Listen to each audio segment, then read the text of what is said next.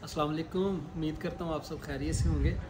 अच्छा मुझसे बहुत से लोग इस तरह का सवाल पूछ रहे थे कि अगर हम एडमिशन लें तो क्या हम एक से ज़्यादा यूनिवर्सिटी से ऑफ़र लेटर मंगवा सकते हैं या सी ले सकते हैं? तो बेसिकली स्टूडेंट अप्लाई उसी यूनिवर्सिटी में करता है, जिस, या उस कोर्स में करता है, जिसकी उसकी रिक्वायरमेंट हो, या इंजीनियरिंग में करता है, या कंप्यूटर की किसी फ़ील्ड में करता है, या मेडिकल की किसी फ़ील्ड में करता है। तो इसका सिंपल जवाब ये है कि हाँ आप एक से ज़्यादा यूनिवर्सिटी में एडमिशन अप्लाई कर सकते हैं और एक से ज़्यादा यूनिवर्सिटी का ऑफ़र लेटर भी ले सकते हैं। Offer offer letter basically prospect से होती है। जिस तरह हम इसी इधर पाकिस्तान में किसी यूनिवर्सिटी में अप्लाई करने के लिए प्रोस्पेक्ट लेके आते हैं, उधर उनके एडमिशन फॉर्म लेके आते हैं तो ये बेसिकली एडमिशन फॉर्म ही होता है। तो आप ये एक से ज़्यादा यूनिवर्सिटी में अप्लाई कर सकते हैं और एक से ज़्यादा यूनिवर्सिटी का ऑफ़र लेटर भी ले सकते हैं।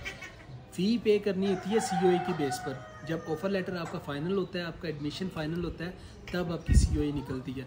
तो जी हाँ इसका जवाब ये है कि आप एक से ज़्यादा यूनिवर्सिटी में अप्लाई कर सकते हैं और एक से ज़्यादा यूनिवर्सिटी का ऑफ़र लेटर ले सकते हैं।